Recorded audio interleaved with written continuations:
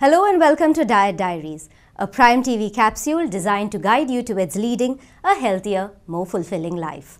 I'm Cheryl Afonso, and over the next couple of minutes, I'll be sharing with you answers to nutritional questions that have always boggled you and left you wondering about what's right.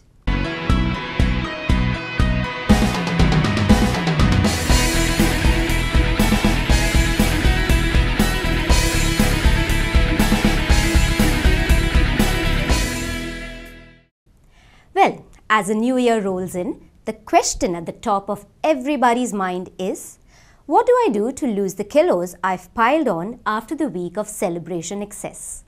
And the answer is simple no, don't starve yourself. Just go back to where you stepped off on on the 24th of December. First things first, get back to your sleep wake routine.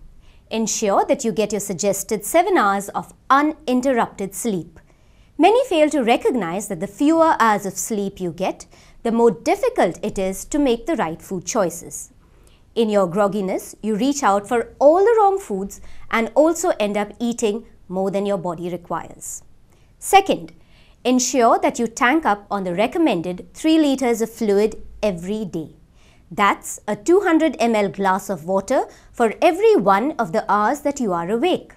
Also remember that your 3 litre fluid recommendation includes only lime water, tender coconut water and your regular tap water. Tea, coffee, milk, juices and clear soups do not count towards your fluid intake. They are dehydrating liquids that cause increased micturition, thereby increasing your body's need for fluid. Next, get your eating schedule in order. Breakfast within 45 minutes of waking up, a snack 3 hours after breakfast, lunch 3 hours after your snack, and another snack 3 and a half hours after lunch, and dinner not later than 9 pm. Don't forget to stay up moving around for at least 2 hours post dinner to enable adequate digestion and a restful night. Breakfast can include carbohydrate protein combination foods such as breakfast cereals with milk, idlis, dosas, chapatis and pulse, egg and toast, and the traditional options such as poha, upma and sabudana khichdi. Meals should include a good blend of vegetables, protein in the form of dal, curds, fish or lean meat, salads and a smaller portion of rice or bread. Snacks should be light and can include fruits, nuts, fresh juices, raw vegetables and milkshakes. What quantities should you be eating at each meal? Well, that depends on your body weight. But do make sure that eat slowly and chew each morsel of food very, very well. Spend at least 10 minutes savoring each meal instead of hurriedly swallowing the food on your plate.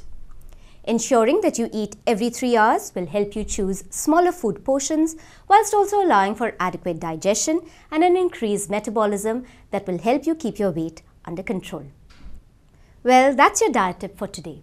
If you have any queries related to the subject of food, diet and nutrition or comments that you wish to share with us, please email us at the address you see scrolling below and we'll be more than happy to address your questions on our upcoming episodes. Eat right, stay healthy with us on Prime. So, what exactly are calories? And how do I determine whether I'm consuming the right amount of calories?